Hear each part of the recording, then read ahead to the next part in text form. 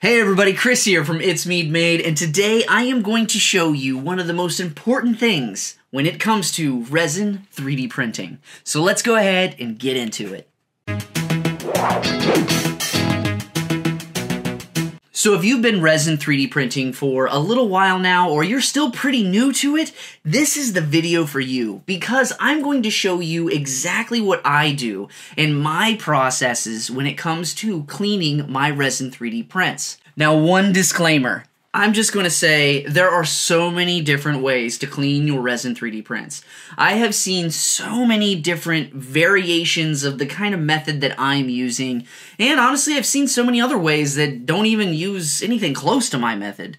I'm not saying one is better than another, it's really about the results you get. So I'm not here to say that this is the way that you should be cleaning your resin 3D prints, because that's not true. If you see somebody else's method that you really like, and then you take some of my ideas and you blend them together, and you're still getting a clean 3D print with no excess resin on it, then it looks like you found a winner. Like it's not a not a big deal. It's whatever works for you. But I am going to show you my processes and how I do it and the reasoning behind those steps. Now, I might have a few more steps than other people, but uh, my results, I my pieces always fit together and I always have amazing detail for my 3D prints. So I can't fight my results. So if you're just here to steal a couple of my ideas, fantastic. I mean, that's great. I am glad you, I want you to be here to steal my ideas and just take them for your own. I just want you to have clean 3D prints. That's all that really matters to me. So let's get into the very first thing. Before we even get started, before we even start 3D printing anything, I have to tell you this one thing. You have to hollow your prints. Your prints have to be hollowed. That way that there is holes that the resin can escape from and so you can get isopropyl alcohol in there to clean it out or water depending on whatever resin you might be using.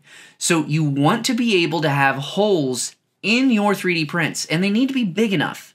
So once you have those holes set, you can absolutely start 3D printing this. Now this model today is from Wicked, and they make some amazing 3D models. And I'll go ahead and put a link to their stuff in the description below. But they already hollow all of their models for you, and this is already pre-supported. That is the most amazing part. So all I have to do is literally throw this into Chitubox and hit slice, because everything is already hollowed for me and supported. So the next thing you have to do after it's done 3D printing is you have to take it off the build plate. Now there's always so much extra resin stuck to your 3D prints at this point. So I always like to have a big silicone mat that I put all of my stuff onto. That way it's easy to wipe up and clean and then I know what of my area is contaminated versus not contaminated. Now, if you don't know what contaminated versus non contaminated means, I strongly recommend you watching my intro to resin 3D printing right up here, and I'll put a link for it right there for you. But putting everything on my silicone mat, I know that everything in this area is contaminated, and I don't mess anything up, and I'm not touching anything that I shouldn't touch. I get everything off of the build plate and then put the build plate back on to the 3D printer for the next batch to print. And while we're talking about contaminated versus non contaminated, this is a good segue to really talk about personal protective equipment. Now, PPE is vital when it comes to this hobby, and I want to make sure that everybody is staying safe while doing this. Dealing around any type of open containers when it comes to isopropyl alcohol or even resin for that matter, you always want to be wearing a respirator and you want to make sure it's the right type of respirator because you do not want to be breathing in any of these fumes whatsoever. Wear a respirator. I know you might not think that you need one all the time, but wear one all the time because over time it can really lead to bad lung conditions. This hobby is fantastic, but is not worth our health. And the other two things is when you are dealing with any type of alcohol in a big container like this, I always wear safety glasses. Safety glasses are important because you do not want this stuff splashing in your eyes whatsoever. Even though I wear glasses, I still take these off and put in safety glasses because they give me the full protection on the sides. And nitrile gloves because nitrile gloves will actually protect us from the resin. There's no such thing as too much protective equipment. I will say that. You could even use a, a shield, a face shield, instead of using any type of safety glasses. So I want to make sure that you all are using your personal protective equipment because this stuff is dangerous and you need to stay safe. So now I will get off of my soapbox and we can get back to the video. Now, this is the one thing of my step one and two, it really doesn't matter which way you do it, but this is the way that I do it most of the time. So the first thing I do is I remove my supports because all of these supports have all of this hidden resin kind of stuck inside it. And I do not want to bring that into my isopropyl alcohol wash because I want the least amount of resin, liquid resin in there as possible. So I am going to go ahead and I remove them now.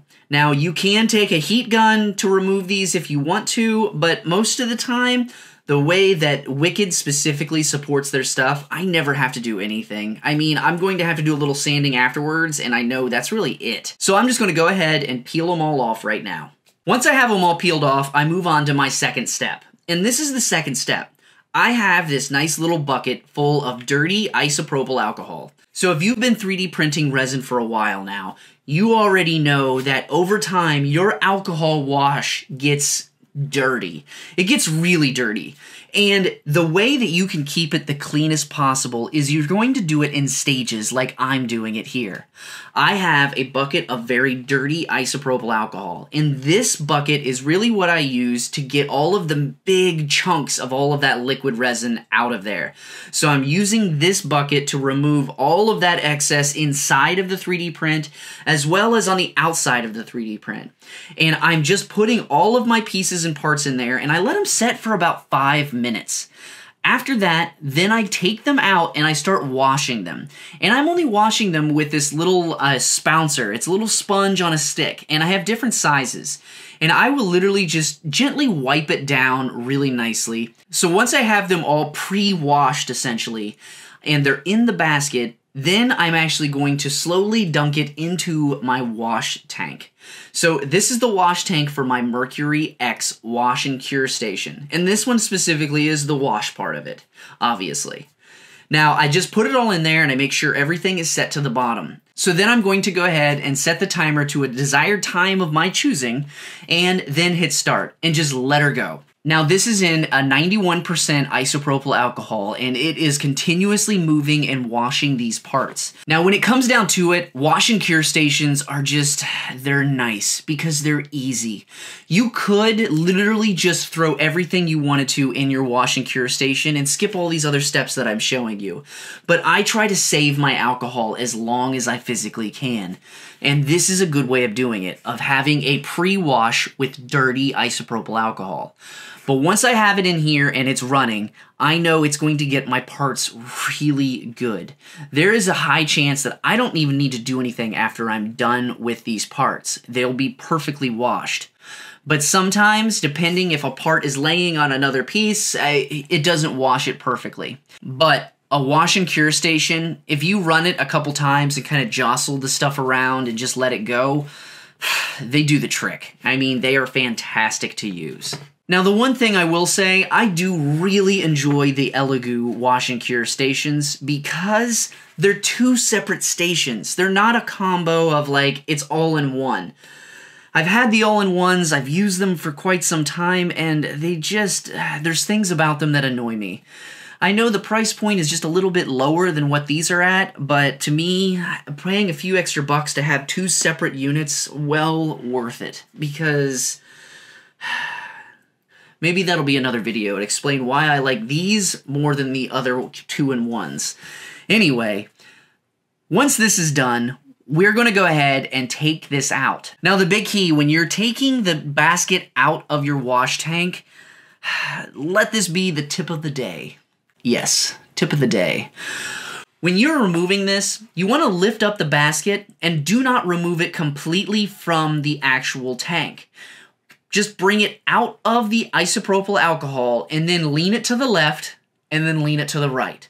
And do this a couple times back and forth. Then go forward and backward, forward and backward. And then what you're going to see is there are going to be these little pockets of isopropyl alcohol that got stuck inside the 3D prints. Doing this will actually allow them to get jostled around and be almost completely removed from inside the print. That way, you're not wasting all of this extra isopropyl alcohol because you want to keep it in the tub. So, you jostling it back and forth like this, I mean, it really is something that's nice to do because when you take this out of there and you pick it up and you just pours out, that is let's just say that makes me very upset and I yell a lot, but I'm not going to show that part on camera. Yeah. Now, the next thing, all I'm going to be doing is laying out all of my parts away from each other, all spread out nicely. Then I'm just walking away. I am going to let that dry 100%. I do not want any kind of alcohol on here whatsoever. Now, what I typically do, I will just let it be and then I'll come back to it the next day. I'm never in this gigantic rush to get my prints ready, so even for this video, I just let them go and the next day I came back to them. Now, this is an important step you have to make sure they're absolutely dry. And this is also in the curing process. You do not want to cure any resin 3D print when it's still wet because you can get some nasty things. It can get like some gooey stuff that'll never fully cure or it will just I don't know. It just it leaves some kind of residue on there and you just don't want that make sure your prints are completely dry. And you have to blot them with a paper towel and then just let them go for a while. Put them in front of a fan if you have to, if you really are trying to speed through this, but I strongly recommend with this hobby, don't race. Don't, like, take your time. Everything we do in this hobby, it is never good when you're pushing yourself to try to rush through something. Just just pace yourself. This is a hobby that we're supposed to enjoy, not to rush through and get it over with. So, like I said, I just wait until they're 100% dry. All right, real quick, I just wanted to say thank you. Thank you to all of these amazing people for supporting me on Patreon this month. If you want to be like these people, you will get exclusive access to my private Discord channels where we talk about painting, 3D printing, and everything else. And you'll also get the opportunity to vote on different things that I'm doing for videos and even things in my videos. Like, I actually did a poll for what I'm going to 3D print for this specific video, and Beast, he was the winner. Everybody wanted me to print him, so here he is. So if you're interested, I'll put a link below. Other than that, let's get back to the video. Now, the next step is one that I feel like it's missed a lot, and that is once you've washed everything and you think everything's good, don't assume that it's perfect because it's not. It never is. There has never been one time that I have done this used a wash and cure station and all this other stuff, and it's perfect, and then I'm done. Just like I was saying, if a part is laying on top of another piece, it can't wash what's in between there very well, so you could miss it. So the key here is look at every single piece and part that you have printed. And the, what you're looking for is honestly nothing. You're looking for no shiny spots, no wet areas. Everything should look very nice and clean. It should look like it's already cured, honestly.